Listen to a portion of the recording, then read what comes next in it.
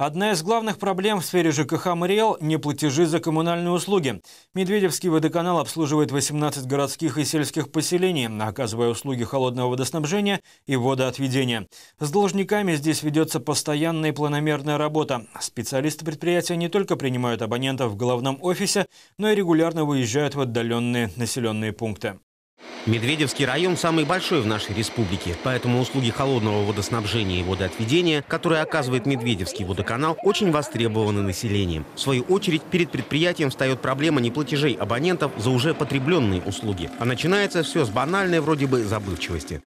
Уважаемые абоненты, просьба передавать показания ежемесячно. В случае непредставления потребителям показаний прибора учета воды, плата за коммунальную услугу за расчетный период определяется из среднемесячного объемом потребления коммунальной услуги. В случае, если по истечению трех расчетных периодов потребитель не представляет показания прибора учета воды, плата за коммунальную услугу рассчитывается исходя нормативов потребления коммунальной услуги. Но если клиент невнимателен или недобросовестен, то тогда приходится действовать иными методами. Администрация Медведевского водоканала все же надеется на сознательность своих потребителей. Неплательщикам объясняют, что отсутствие платы за воду тормозит выполнение мероприятий, которые позволяют улучшать качество воды. Иногда приходится и обращаться в судебные инстанции.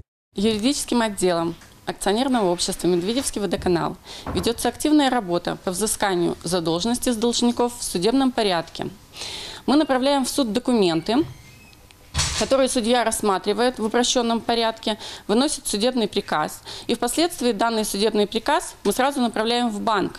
Если у человека есть расчетный счет, с него автоматически списываются имеющиеся на нем деньги.